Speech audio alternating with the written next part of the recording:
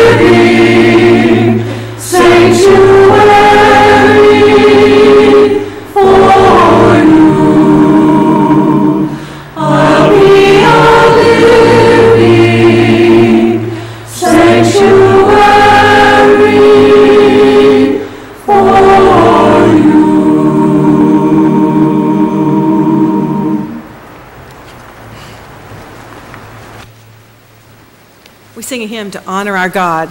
Holy, holy, holy. Hymn number two and your hymnal as we stand together.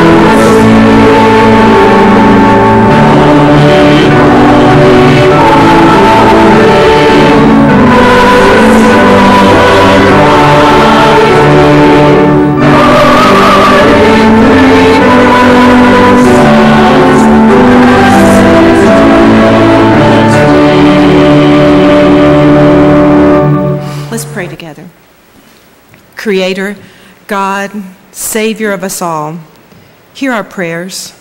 Make us each a sanctuary where you can dwell, a vessel that gives you praise.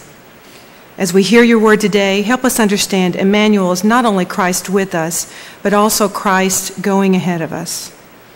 As we hear your word spoken and sung, help us feel the real presence of the Spirit, whom you sent to give us comfort and to rejoice with us.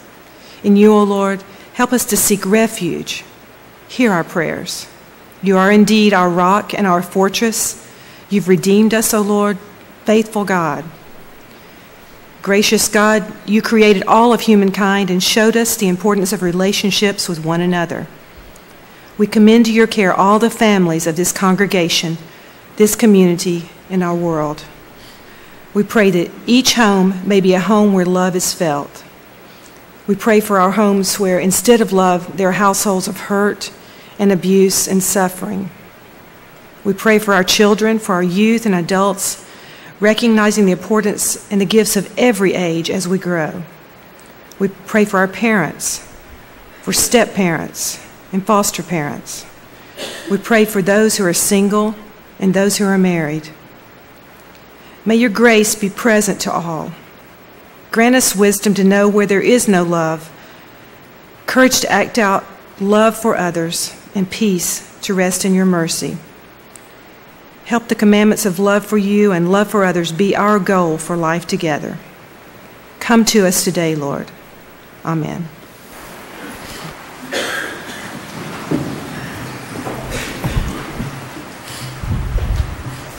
What a joy this morning to be able, as we begin worship together, to celebrate the sacrament, the, the act of baptism. Uh, it is a reminder to us every time we enter into these waters that we are people of hope. We are people of the empty tomb. And we are reminded of that this morning as one comes saying, I want to be baptized. Jonathan, will you come and join me in the waters?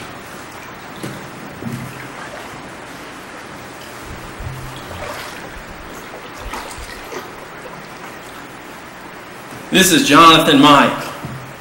As we were talking earlier, uh, just a little bit ago, uh, Jonathan was saying he was trying to decide of which two ways he wanted to enter into the baptismal pool the traditional way or by cannonball. and I'm glad for you guys' sake that we decided the traditional way because we've got to change of clothes back here. Jonathan came to me a couple Sunday mornings ago he came and he said, Matt, I'm ready to be baptized. And I think he would have gone into the baptismal pool that morning. He was that excited about it. And we've had a chance to, to get together and to talk. And Jonathan told me about what he had experienced. Uh, we talked about that when he came down front, that he had been at a passion play, and that the story that for years had been the story about Jesus became his story that he was now connected, that he knew that Jesus had died for him. And he wanted to claim that by coming and professing Jesus as his Lord. And that's why he's here this morning to be baptized. Jonathan, who is Jesus? Jesus is my Lord. Upon your profession of faith, it is now my privilege to baptize you, my brother, Jonathan Mike, in the name of the Father, and the Son, and the Holy Spirit. We are buried in baptism and raised to walk in a new life. Let's pray together. Holy and loving God, may those of us here who have been baptized this morning, may we feel the waters once again around us. May those of us who look and who see and who give thanks, may we be called out into deeper waters. We thank you for your love and for your saving grace for all of us. In your name we pray. Amen.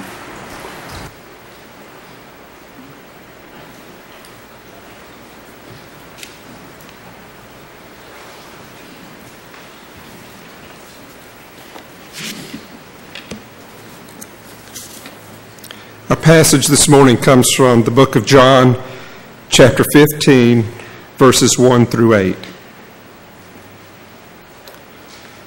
I am the true vine, and my Father is the gardener.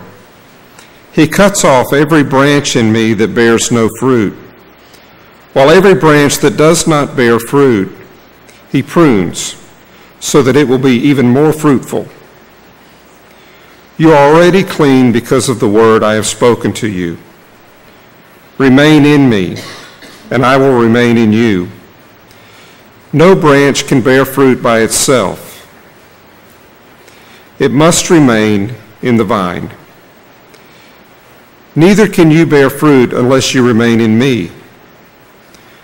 I am the vine, you are the branches. If a man remains in me and I in him, he will bear much fruit. Apart from me, you can do nothing. If anyone does not remain in me, he is like a branch that is thrown away and withers. Such branches are picked up and thrown into the fire and burned. If you remain in me and my words remain in you, ask whatever you wish, and it will be given you. This is my Father's glory, and you bear much fruit, showing yourselves to be my disciples. Let us pray.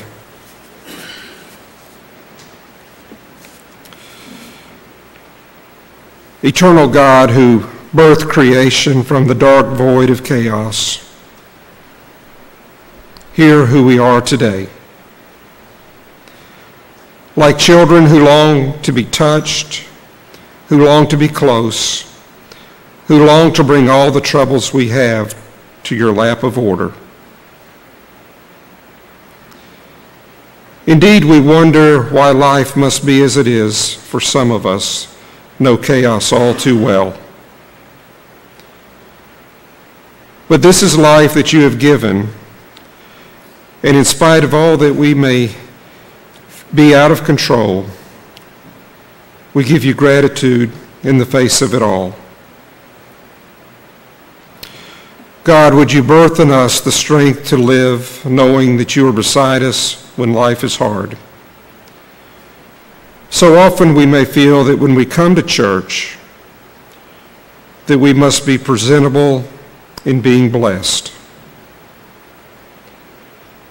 But your word confronts us with the lepers the outcast, the poor, the hungry, the desperate, the prostitutes. And at every step, you are there. Not to offer judgment in our failings, but to seek to be in relationship with us where we find ourselves to be. God, open us to the reality that we need not be all together to be here this morning. From where does hope and healing come? It comes from you, O God. And we give you our wounds, our hurts, and all the chaos that we have, and ask for a gentle word of presence. May we find people to embrace us May we hear your voice calm the raging storms of life. In all things, help us to find you. For who among us is so proud as to not need you? For all true prayer somehow confesses our absolute dependence on you, God. It is therefore a deep and vital contact that we seek with you. For we pray for when we pray, it is then that we really are. O Lord, your prophet has said that the people that have walked in darkness have seen a great light. They that dwell in the land of shadow, upon them shall the light shine. May this be our prayer of confidence that you brought us light into this world at its very beginning. So you will bring light into our darkness of our life and of our day. We ask this in the name of the one who taught us to pray. Our Father, who art in heaven, hallowed be thy name. Thy kingdom come, thy will be done, on earth as it is in heaven.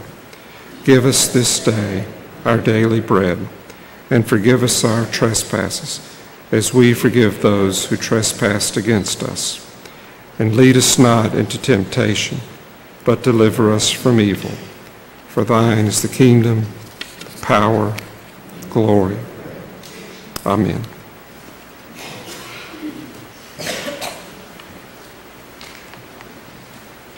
We'll sing together our hymn of stewardship. If you'll take your bulletin, it's an insert in your bulletin, O Blessed Spring. And if you'll get that, we'll stand together and sing.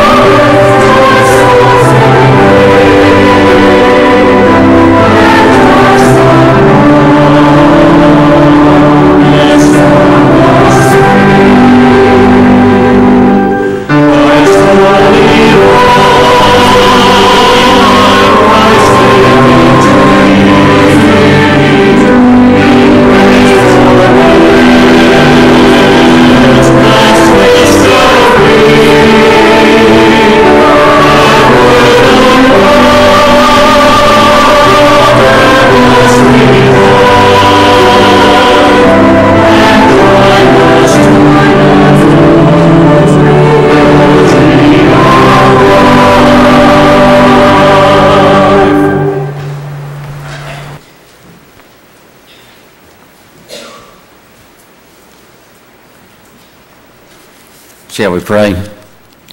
Almighty God, we thank you for this beautiful day, dear Lord.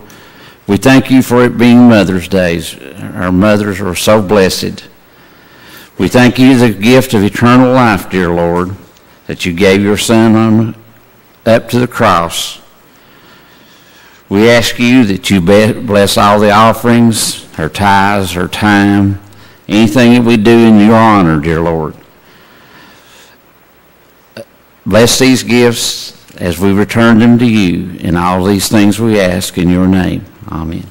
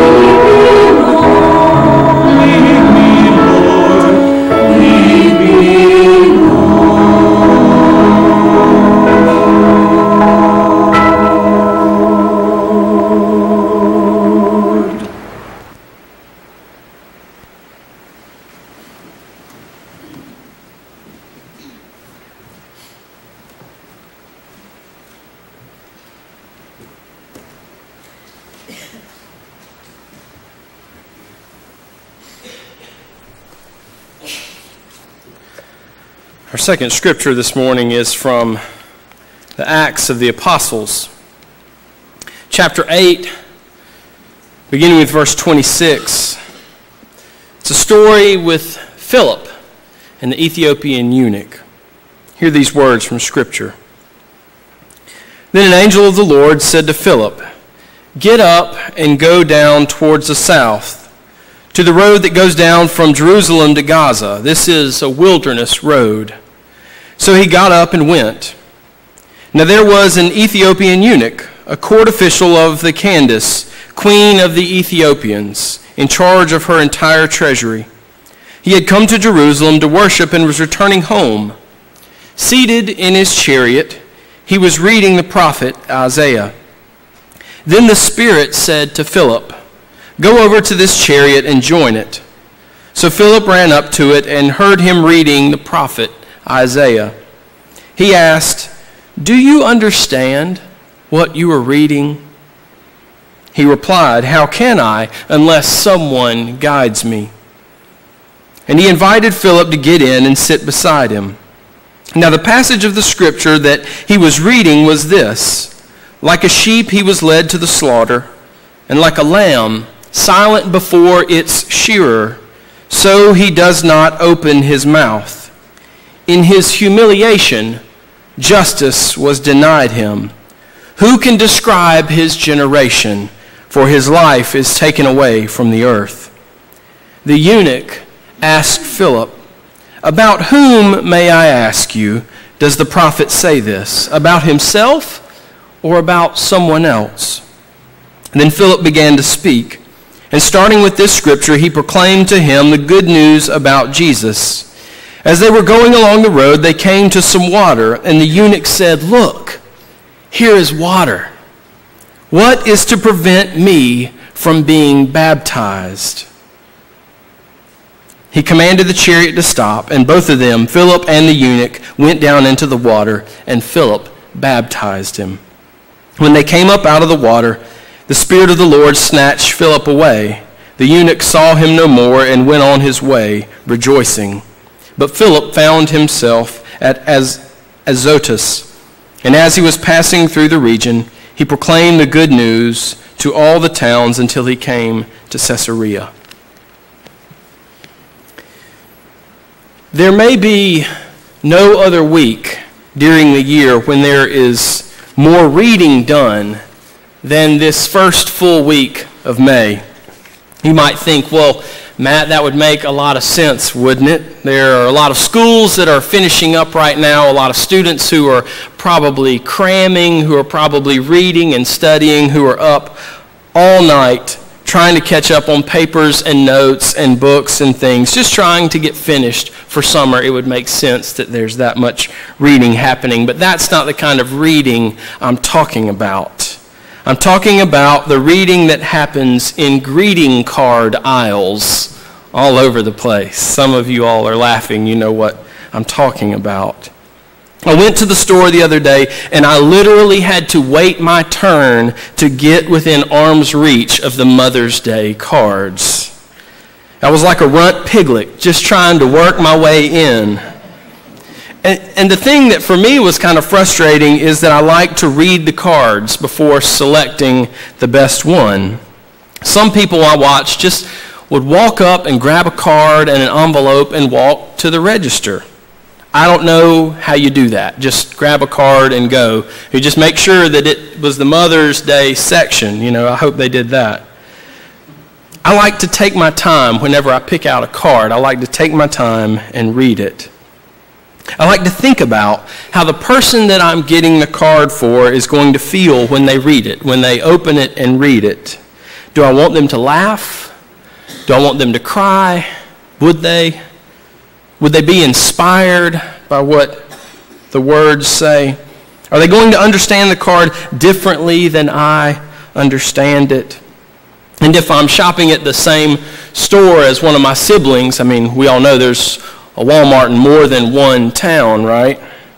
Will they get the same card that I get? I mean, there's, The odds are slim, but it's happened to me.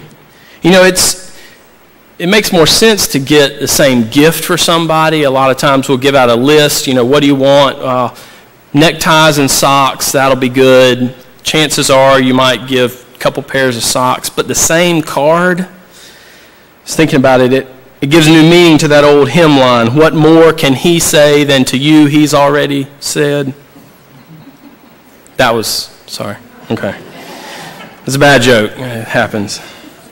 But there's a lot that goes through my mind when I'm in the greeting card aisle trying to pick out a card. So I imagine then what was going on through the mind of this man in the chariot as he was reading from the prophet Isaiah. Imagine what was going through the mind of Philip as he approaches this scene.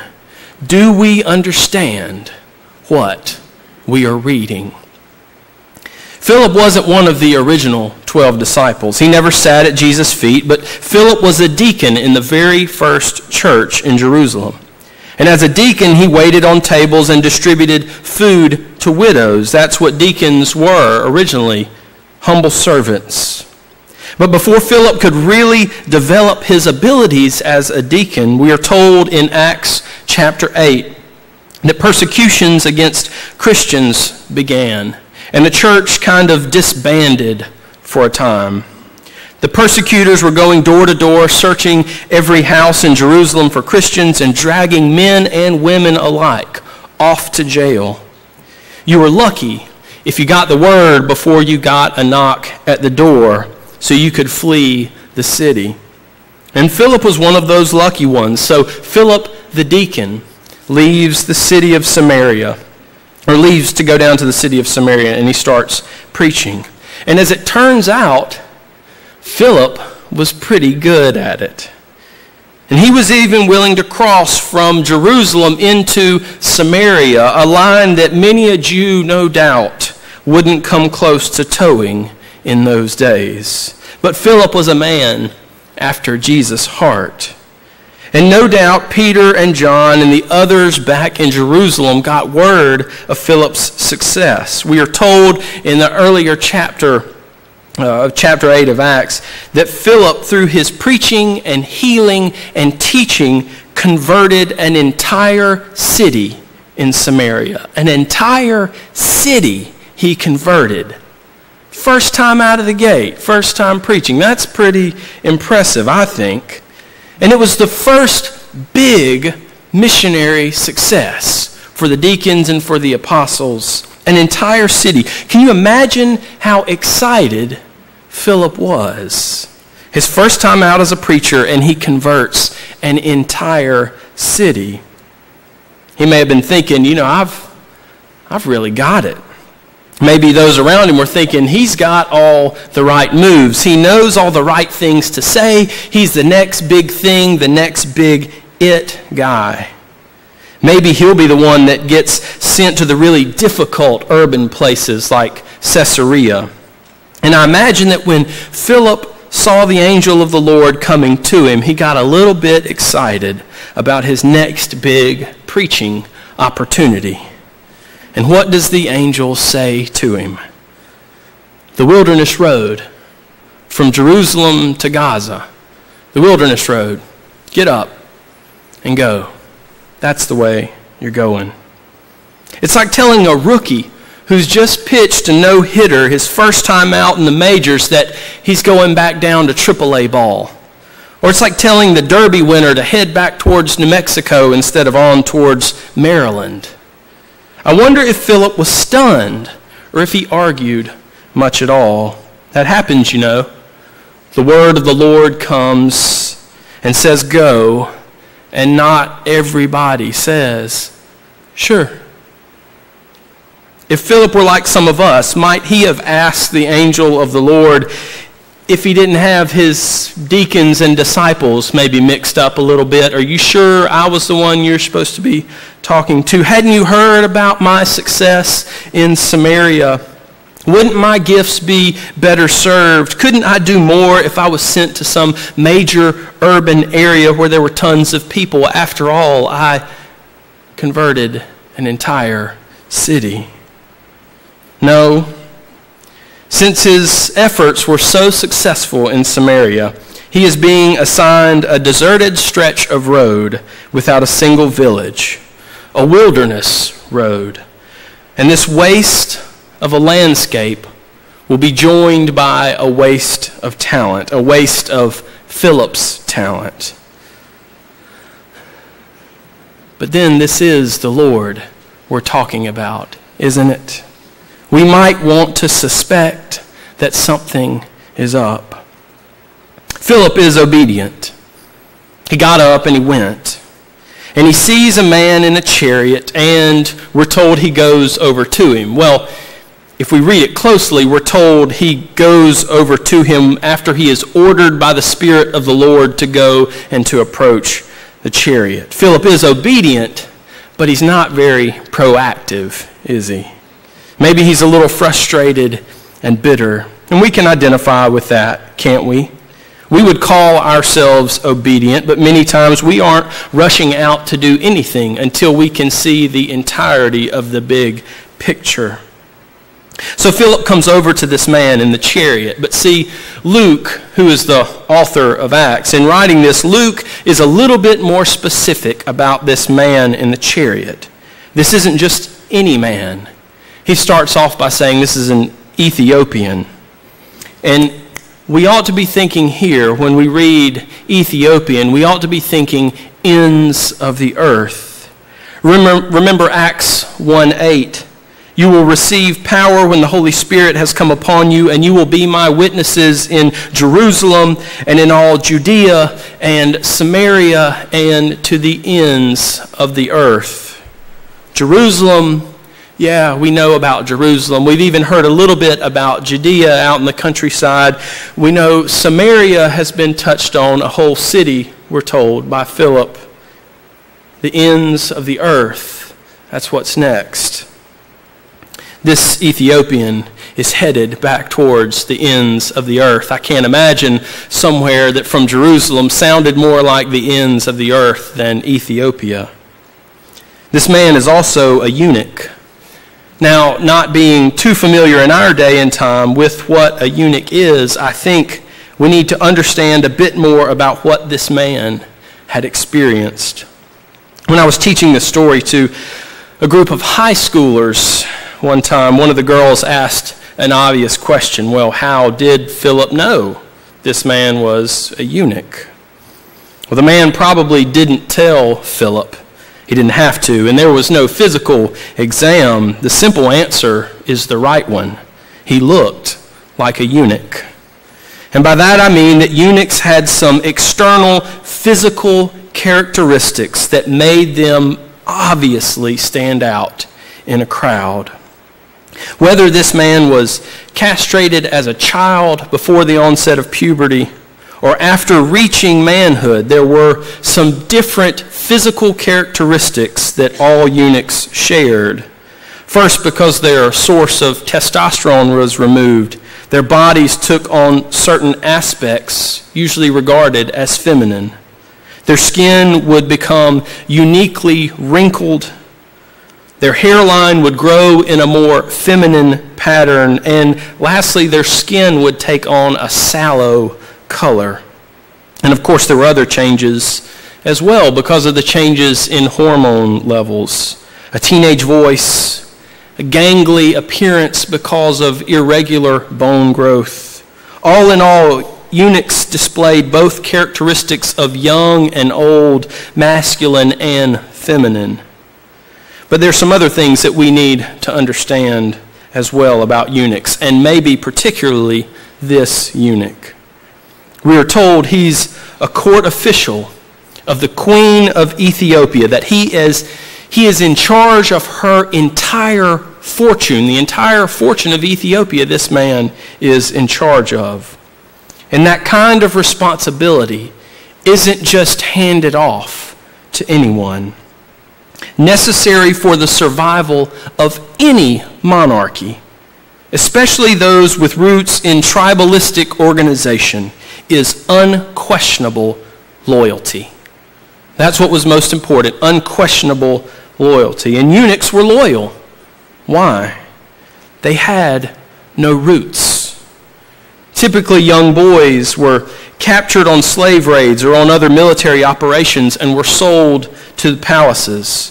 And whether they were castrated as young boys or they were adults who were punished in the same manner, the point is they had no roots. They were taken away from their families. They had been plucked away from their family. Their family ties were severed.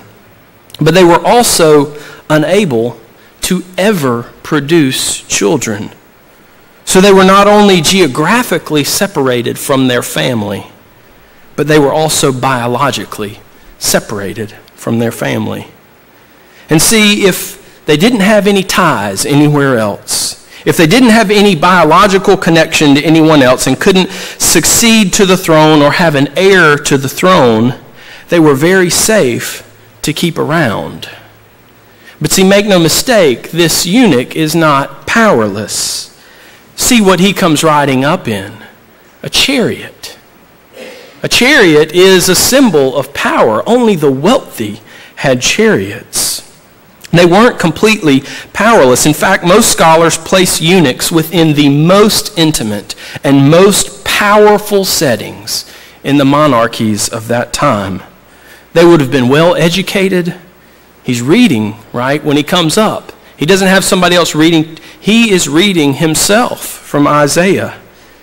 He would have been vested with power and control because he could be trusted. And eunuchs even served in the military in leadership capacities. This is the man that we meet on the wilderness road from Jerusalem to Gaza. He's a court official of the Queen of Ethiopia who is in charge of her entire treasury, and he had come to worship in Jerusalem and was on his way home. And that he went to Jerusalem to worship means that if he wasn't a Jew, and he very well could be, if he wasn't, he at least had a soft spot for the story. And for this man, the story he is reading is from Isaiah chapter 53. Like a sheep he was led to the slaughter, and like a lamb silent before its shearer, so he does not open his mouth. In his humiliation, justice was denied him. Who can describe his generation, for his life is taken away from the earth? Now, we read that chapter of Isaiah, and we call it the suffering servant. We especially read it around Christmas time as we're approaching Advent. And we often think about Jesus, but that isn't what this man is thinking about. He's thinking, like a sheep, I was led to the slaughter. And like a lamb silent before its shearer, so I did not open my mouth. In my humiliation, justice was denied me. Who can describe my generation? For my life is taken away from the earth. That's why he, he asked Philip, Who is this man talking about? Who is this prophet talking about? Himself or someone else? And he's saying, Because I can identify with him. He's talking about my story. He's naming what I feel. He's talking about what I experience every single day as I go about my duties. When I wake up in the morning, when I go through my routine during the day, when I lay my head on the pillow at night, this is my story. That I was slaughtered, that I was humiliated, that justice has been denied me, that I don't have a generation to even describe. Tell me he knows my story. And Philip does him one better. He says, Let me tell you about the story of Jesus. And Philip tells him the good news. The same good news that Philip had proclaimed in Samaria. The same good news that captured Philip's heart and called him to being a servant. He told the man in the chariot that good news. And I think, you know, we often talk about the good news as being the rest of the story. That's usually where the good news is, right? At the end of the story. And I wonder if part of that good news that Philip told the eunuch was the rest of the story from Isaiah. After all, Luke, the writer of Acts, does quote Isaiah quite a few times. And if we read just a little bit further past chapter 53, we will find these words Do not let the foreigner join to the Lord say, The Lord will surely separate me from his people. And do not let the eunuch say, I am just a dry tree. For thus says the Lord To the eunuchs who keep my Sabbaths, who choose the things that please me and hold fast to my covenant, I will give in my house and within my walls a monument and a name better than sons and daughters. I will give them an everlasting name which will not be cut off. What a promise of fertility to one who has been cut off. What a word of hope to one who cannot trace their name into the future. It echoes the promise that is given to Abraham that there will be an inheritance passed on in which others will be blessed. And here's the one thing we need to understand, I think. This isn't about going backwards and undoing what has already been done. This isn't even about going backwards and doing things the old way. That's impossible. Biologically, that's impossible. This is about reimagining what it means to be fertile, to have potency, to be a part of the co creative act of bringing new life. And as it was for this eunuch, so it is for all of us. I wonder this morning are you more than anything desiring new life in your existence right now? And yet you are feeling cut off. You are feeling like your potency has been extinguished. That any hopes of fertility, of new growth, of new life are seemingly impossibly far away. Maybe you've felt that way about yourself, about relationships in your family, maybe about a job that there's just nothing new that's possible. Maybe you feel that in your daily routines. Maybe you feel that about this world. Can anything new come from so much that is dead all around me? Maybe you feel that way about your church I've heard that fear voiced quite a few times. Are we going to make it? Is there a future? Can anything new happen in this place? There's so much gray around. Can anything happen? Well, hopefully, just stay here long enough. We'll get some new life around here. I've heard that fear. But you see, the thing that I'm hearing even louder than that is this Do not say, I am a dry tree. To those who keep my Sabbaths, who choose the things that please me and hold fast to my covenant, I will give in my house and within my walls a monument and a name better than sons and daughters.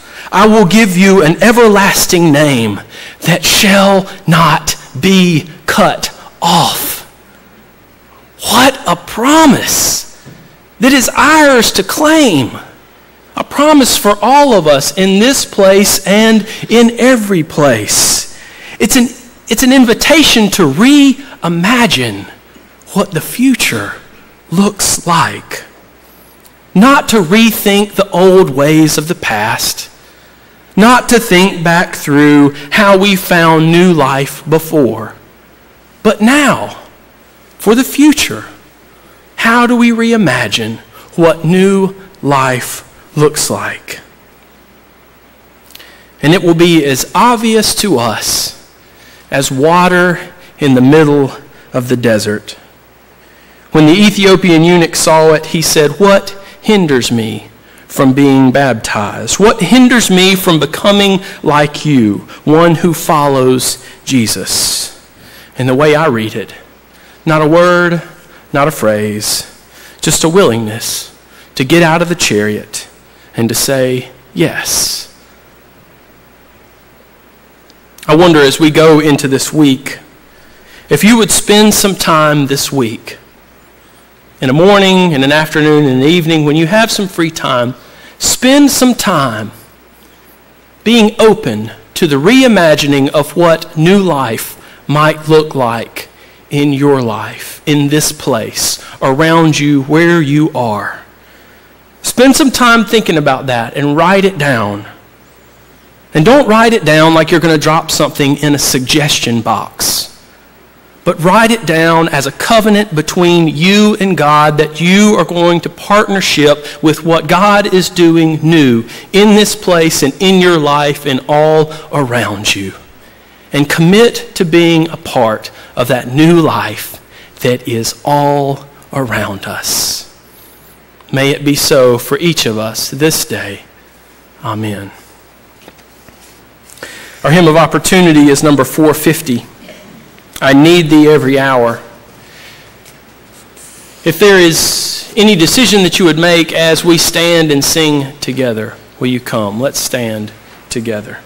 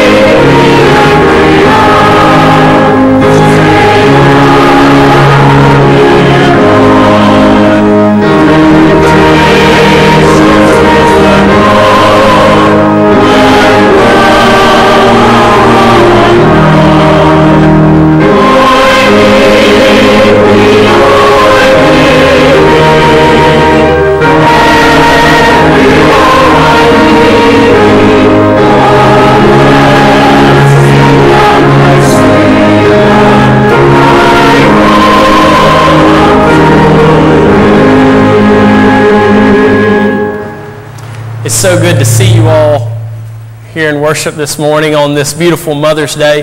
If you hadn't gotten that card in the mail, make sure you do that first thing on Monday. And remember, stamps have gone up a little bit. Let's receive the benediction. Brothers and sisters, remember this morning we've stirred the waters of baptism. Now, as you walk out from this place on this other side of the tomb, as your bodies stir the air that you come in contact with, remember that you go with Christ. You go with Christ wherever you go. So keep a watchful eye. There may be water all around. Amen.